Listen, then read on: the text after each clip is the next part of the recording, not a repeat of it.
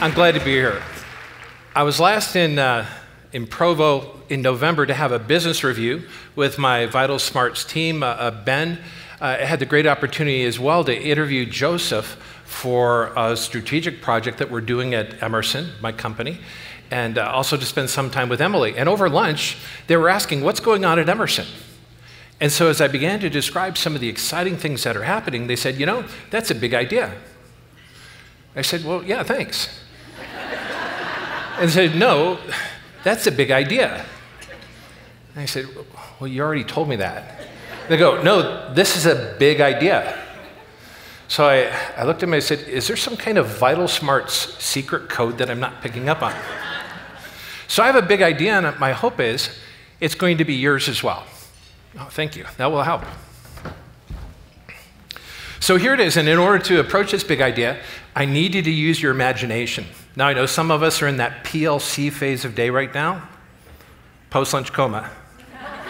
I need you to use your imagination. Now, I told my son I'm actually attending the world's largest con- uh, convention of extroverts, so help me with this here. I need you to use your imagination. Imagine this scenario Monday morning, you're back in your office, you've returned back from the REACH conference. Nine o'clock Monday morning, your chief financial officer walks into your office, looks you square in the eye, and says, What would they say? What emotion would you feel at the moment? Would you be jumping for joy at the sight of your CFO sh- showing up in your office? Would you be in a state of shock? Would you uh, try to flee the fear? Would you melt into a puddle of cold sweat, fully anticipating that your CFO is the one who's going to be initiating a crucial conversation with you about the future of the learning and development function? What would they say to you? Now, what would you like them to say but what would they say to you if they showed up to your office on Monday morning? Now I want you to come to my office. Five years ago, it was the Wednesday before Thanksgiving. It was a quiet morning at our St. Louis campus. We've got about 2,300 employees there who support the performance of 90,000 other employees in 140 countries, 215 manufacturing locations, and probably 50 to 75 sales offices and innovation centers. Nine o'clock in the morning, Frank Dellaquila shows up to my office. He's our CFO. He walks up to me, looks me square in the eye, and he says, Terrence, your team has shown me where real value creation comes from. I realize now in our old way of doing things, the only thing I valued as CFO is that people showed up. Not that they did anything with it. I realize now I had the price tags on the wrong things. Said, Terrence, as CFO of Emerson, what you and your team has done is very valuable to me. It's valuable to our employees. It's valuable to our company. It's valuable to our shareholders.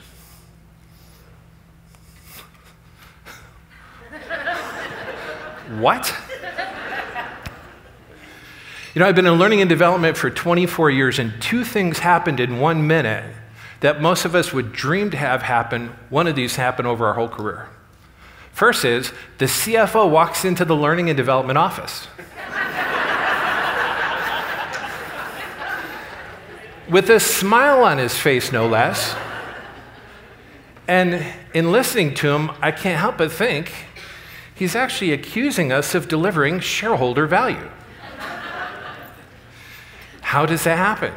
Frankly, gang, I would have been disappointed if this conversation hadn't took place. So I want to share the story. My story, I think, is going to become your story. In order to do that, though, I want to give you a quick state of the training industry report. I think you're going to have a much deeper dive on this later on this week, but I want to give you the state of the industry from really a global director of training's perspective. A couple of things that I think should cause us to be a little restless, a little bit uncomfortable. Uh, this source comes from Training Magazine, a survey Training Magazine conducted some time back. They said 95% of learning and development managers have never once met a C level stakeholder in their company. Coupled with that, 85% of anyone holding a title of training manager or learning and development manager or director of learning and development have never read a copy of their own company's organizational or strategic plan. I guess we're too busy reading those books on adult learning theory and gamification. The ASTD State of the Industry report indicates that only 7% of learning and development functions measure the business impact of their efforts. I think these first three industry indicators are the causal relation to this next one. This is the one that's sobering. Less than half of Fortune 500 companies integrate learning and development as part of their strategic planning process. So when it comes to large organizations, when it comes to their strategic planning process, learning and development is not even brought to the table. And then finally, I don't need to cite my industry source in this. I hear this in the hallways today and tomorrow. Isn't it true that in times of economic constraint or restraint, we're usually the first ones to take the hit? We're also usually the learning and development function is the lagger in the economic recovery. We're the last ones to kind of come back up to speed fully funded. And when I see industry indicators like this, gang, it tells me that in many of our organizations, learning and development is not doing all that it could or should be doing to help its organization meet its business and strategic goals. This has been a concern of mine, so I have an idea. But the state of the industry is also creating, I think, a state of confusion. And I'm going to make some bold statements here, and I'm comfortable with it. One of the ideas is this business leaders, many of your C level stakeholders or top executives in your organization, are often ambivalent or unclear about the role, the purpose, and value of learning and development. How many of you, just raise your hand, you can see me better than I can see you. But how many of you would agree with that statement in your organization? Okay, good number of you here. And I think I know why. I think the reason why business leaders are unclear about the role, the purpose, and value of learning and development is we're often unclear about ourselves. And if we can articulate in a clear and a compelling and a cogent and a concise manner what our role and purpose is, that confusion is amplified in the C suite. So we have a state of the industry, we have a state of confusion. And I'll also suggest that for many learning and development professionals, we've been long suffering from an identity crisis. I'll give you an example of this. In my last three roles as a learning and development leader, I came from outside the organizations. Sometimes my role was part startup, sometimes I came into a turnaround situation. Sometimes it was accelerated growth, realignment, sometimes sustaining success.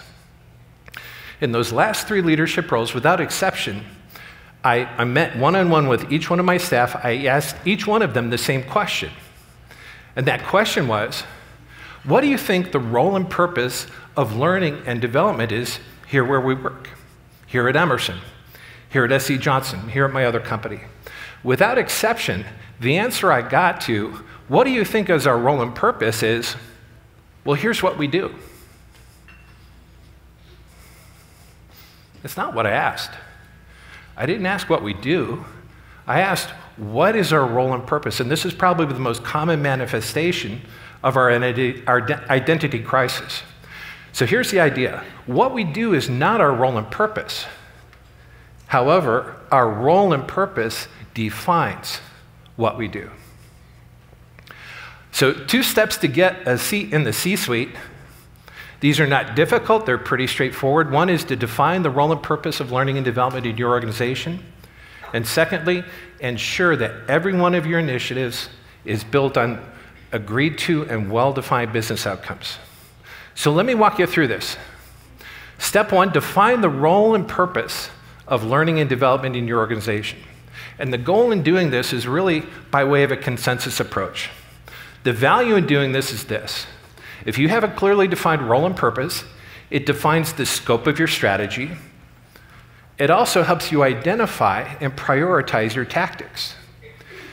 Many learning functions are operating devoid of strategy because they don't have a defined role and purpose, and they think tactics will carry them through, and they won't. It also helps you formulate a policy. Now, a lot of us hate the word policy, but I actually like the framework from an operations perspective. A policy is a framework for making informed and consistent business decisions. And those departments who don't have a clearly defined role and purpose, we don't have a framework. We're always saying yes. We have no basis for separating training needs from training wants. We're kind of working in the fire hose approach. And then finally, having a defined role and purpose sets your organizational true north or your mission. So I have a tool for you. It's something that you'll be able to download on your app. It's there right now. It's a three page sheet called The Learning and Development Leader's Guide to Defining the Role and Purpose of Training. I found that my value in 24 years as a learning and development professional is not in what I say, but in the questions I ask. There's 15 key questions in this handout, and I want you to start asking these questions of the business leaders in your organization. A couple interesting questions. What is the purpose of learning and development in our organization? Why is learning and development important? This third question Who are the markets? I have three markets I support I have clients, I have customers, I have consumers. My clients are the senior executives and stakeholders. My customers are the people that send their people to training. The consumers are the people who actually show up. Each one of them have different needs or wants. There's 15 questions here. Here's how we facilitate the exercise. We have 15 questions, we have 15 flip charts. I'm in a meeting with my executives. We answer each question at the end of answering all 15 questions. We go to each flip chart one at a time and we underline one key word or phrase. At the end of that, we take all the keywords or phrases and we put it into a one paragraph summary that captures all those keywords or phrases from those 15 questions that says, We believe the role and purpose of training is, or learning and development is. And now we have a clearly defined role and purpose. And the beautiful part of this is I have the leaders buy in because it was their idea. So I tried this out with a senior leader. Second week on the job, I, I set an appointment with him. I said, Todd, it's really important for me to know what's important to you. I want to know how I could best support your business. I'd like to ask you some questions. And I pull out these questions as I start asking them. By the second question, he gets up, walks around me, goes to his door, slams it, stands blocking the door, and he looks at me with a scowl and he says in a menacing voice, Who are you and where have you come from? I really didn't know how to answer. So I said, Todd, could you rephrase that? I'm not quite sure I'm tracking with you. So he unfolds his arm, he walks back, sits down, and goes, I know who you are, I know where you're from, but here's my problem.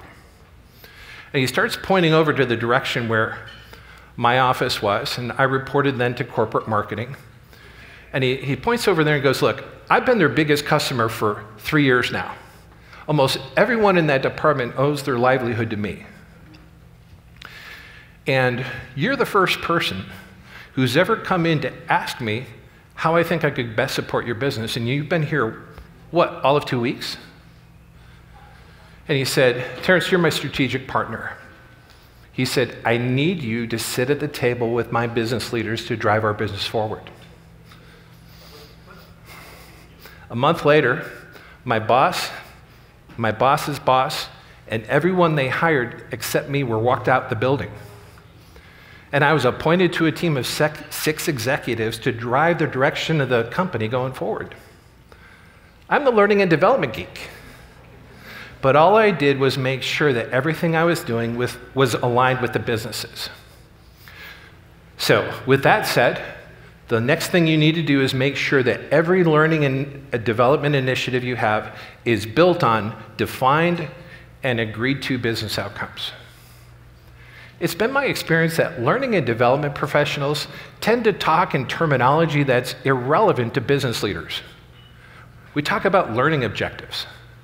At the end of the workshop, the participant will be able to do and then we throw in a bunch of Weasley action verbs. Learning objectives do not resonate with business leaders. Business outcomes do. So, a simple discipline, and I'll be speaking more about this in my breakout session this afternoon, is this. Anytime I have a request for a new major learning initiative, I just simply go to the executives and I say this complete the sentence. This initiative will be a success when, and you know the question, the answer I almost always get? You know what? That's a really good question. Let's take some time to think about this. The value we'll bring is the questions we ask, not, not the answers we deliver. So make sure that everything that you do is built on agreed to and well defined initiatives. So, what I've tried to give you are two things a process to follow and tools to use. Download the 15 questions and then email me. Let me know how they go for you. I hope my big idea, which has allowed me to get the seat with the C suite for my last three jobs, will give you that same opportunity. Thank you very much.